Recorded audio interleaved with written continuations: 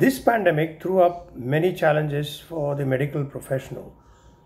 Firstly, we were dealing with a disease about which we did not have any data or knowledge. And so there was immense learning through the several months that we've had the pandemic, and that has been a significant point. We also had to ensure safety of the healthcare professional, both doctors and nurses, as well as the patients walking into the hospital. This was a challenge. The use of protective equipment was not common in medical science, and we had to quickly prepare ourselves with the various protocols to ensure this. In the treatment of patients, we had to have protocols set up, modified, and changed in rapid succession as more and more knowledge about the disease evolved over the months from various global and Indian resources. We had to handle the mental stress of the doctors and nurses because of the additional work and the fear of the coronavirus, which is indeed substantially troublesome to people.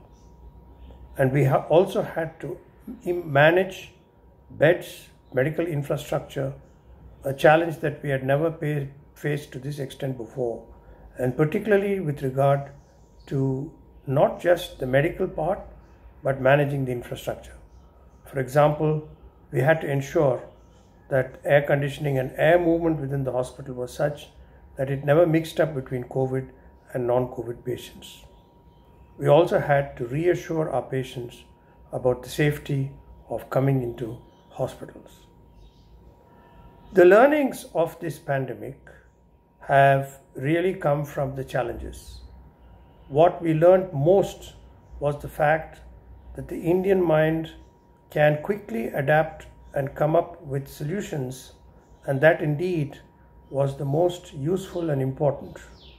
We also learned that we had to manage with a lot of challenges in terms of medical equipment, and that too was indeed something that we learned very quickly. The new normal of the three important aspects of hand wash, physical distancing, and masking is, of course, what we have to practice. While it has been clear as to what needs to be done, one of the problems that we have faced is implementation in surroundings that are not within the hospital. We would be interacting with various people even if a physician and others want to practice social distancing, it is a two way traffic. And what is clear is that a greater emphasis has to happen on this from various people, statutory and others, because this is the only way we can prevent ourselves from getting into more trouble from the coronavirus. Thank you.